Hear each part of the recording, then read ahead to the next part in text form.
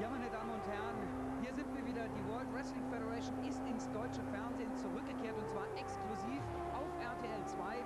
Sie haben gerade eben gesehen den dynamischen Beginn einer neuen Sendung Wrestling Spotlight. Sie wird am Wochenende dazu dienen, Ereignisse zusammenzufassen, so kann man es ungefähr sagen, die in der Woche geschehen sind. Wir werden drei Sendungen in der Woche haben, aber ich bin sicher, Sie werden das alles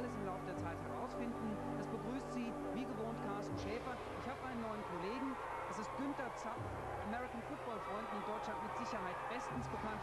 Ich glaube, Günther, diese Sache hier, Wrestling, das ist etwas, was du, glaube ich, schon ziemlich lange machst.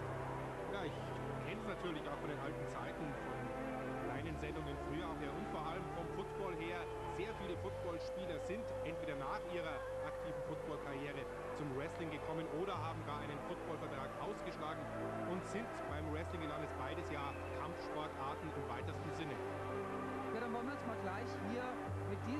beschäftigen.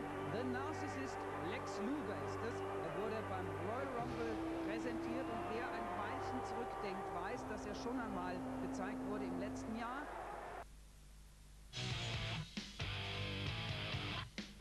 Montagabend geht wieder die Post ab. WWF Wrestling, die Supershow. Kampfsport und Spaß bei RTL 2. It's just.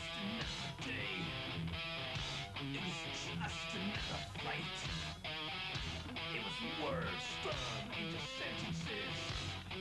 Doomed to not be right. WWF Wrestling, Montagabend 5 nach 9.